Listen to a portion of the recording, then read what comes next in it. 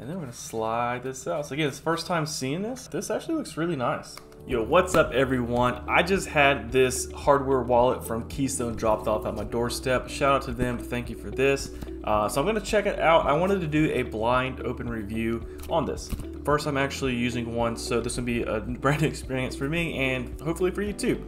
Uh, but I'm gonna open this up. You see it's still in the plastic and uh, we're gonna take a look at it. So this is the Keystone 3 Pro. This supposedly has you know a large screen. It is open source, which is nice. Secure element chips, fingerprint, um, touchscreen, all of that. So I'm gonna go ahead right here and just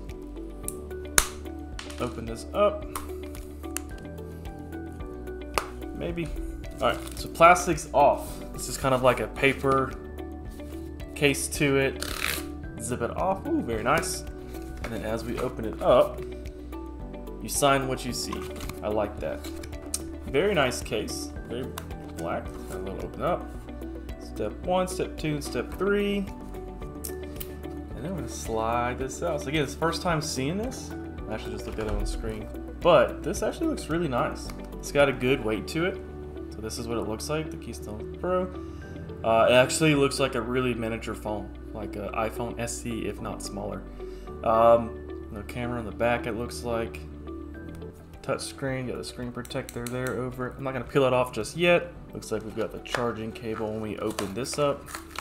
Yep, there's the charging cable. It also uses connect to USB to interact with everything. Uh, and inside of here, we've got, this is just like the manual, how to use it, all of that, little thank you note from them. And last but not least is a small one. So these are, there's six different cards. These are for your seed phrase. So if you want to write down your one from here, I think you can have up to three maybe on here. And then if you have any other ones, safe place to kind of hold this. Uh, and then two, it comes with this kind of plastic thing. So what this says is turn packaging into a drawer. So the way that this does slide in is just like a drawer. So what this is saying is you can take this, put it on top here, and then set it up, you know, underneath your desk. Um, easy access, and you just slide it out.